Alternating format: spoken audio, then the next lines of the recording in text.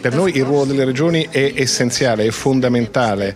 Eh, la politica di coesione, la coesione significa prima di tutto lavorare con gli Stati membri. Perché? Perché gli Stati membri sono i primi portatori di interessi, l'Unione è un'unione di Stati membri, ma, ma, la coesione è una politica che ha le radici, le basi, le fondamenta nel locale.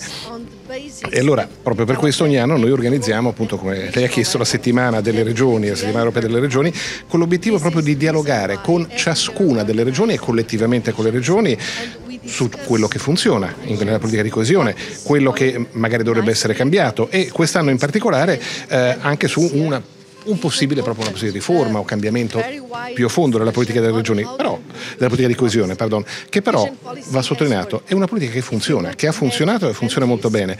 Guardate i nuovi Stati membri, quando sono entrati nell'Unione avevano dei livelli di reddito che erano da metà addirittura solo un terzo del reddito medio. Adesso siamo arrivati al 75%, se non di più.